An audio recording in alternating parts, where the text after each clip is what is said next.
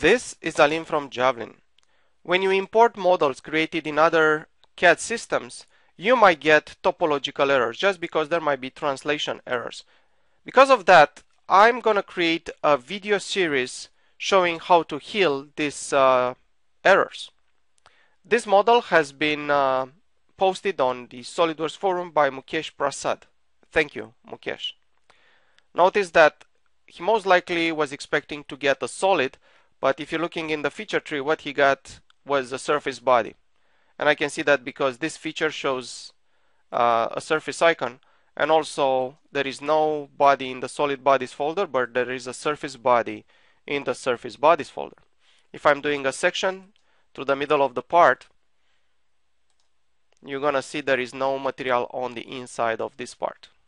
And by the way this option uh, works very well in SolidWorks 2014 because the section view has the graphics only section option um, if you turn it off, which would be the equivalent of uh, SolidWorks 2013 and older for the behavior, you're going to find out that it doesn't want to section the part because there are invalid bodies inside that part.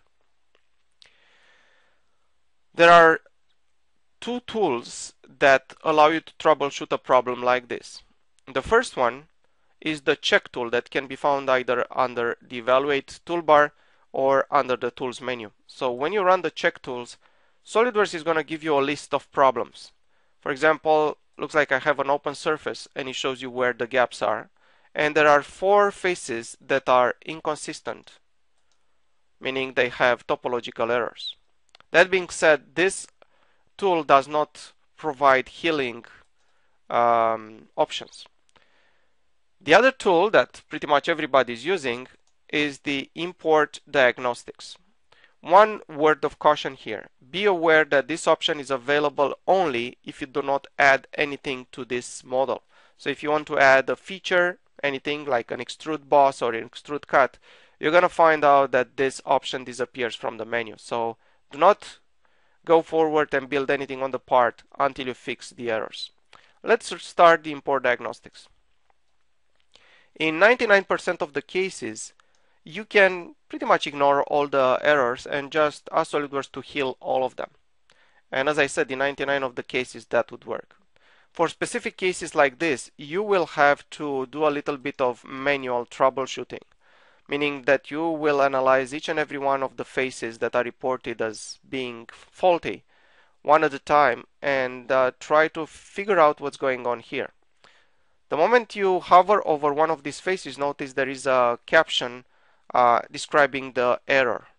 And that caption disappears after a while. So what you might want to do is actually right click on that specific face and select the what's wrong option.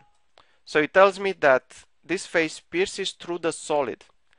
And uh, you have a valid question right now. What solid are you talking about? There is no solid here. Actually what's happening is this face pierces through another face.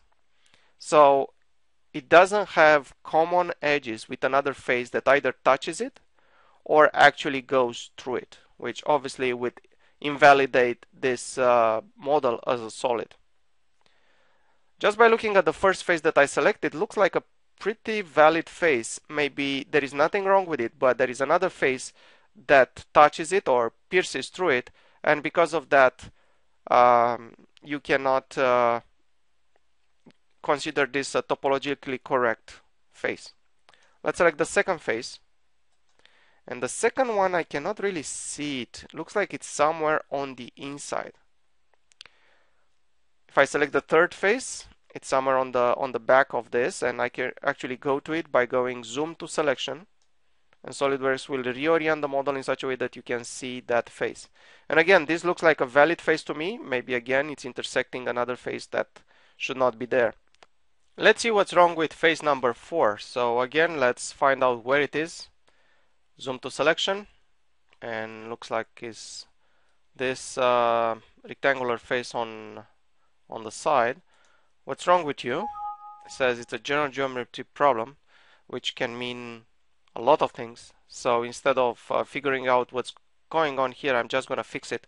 Notice that this is not really connected to the other one, so I can actually repair it on its own. Just gonna exit for a moment because I want to see what's going on with these three faces. Remember that uh, the error is that they are piercing other faces. And I'm to do another section through the middle of the part. Let's try to go closer to the middle using that graphics only section option that's available in SolidWorks 2014. And what you're to find out here is there there is a very suspect face in going through the middle of the part. And also it does not have common edges with the other faces which will pretty much invalidate this model as a solid. Actually, if you remember the Euler's law, uh, every edge that belongs to a solid model has to have exactly two faces that are adjacent to it. So for example, this edge has this face and this face. While over here, I have a face that, that has edges that belong only to itself without really intersecting uh, or actually being part of um, of the other faces. Notice here looks like I have two completely different edges going on. So this is what I believe is wrong with the part. This face should not be there. So let's run again the import diagnostics and select the face that, as I said, should not be there and just delete it. Notice the moment you do that, you get a green uh, light here and the other two faces become valid. Also, this uh, body becomes a solid body. You can see here from the icon on the feature, you can see here uh, on the solid uh, bodies folder the fact that I have an item there is no surface body and also inside the section view you can see that I have material on the inside so this video is the first of a series that's uh, just gonna deal with fixing imported geometry. Stay tuned for the next video. Thank you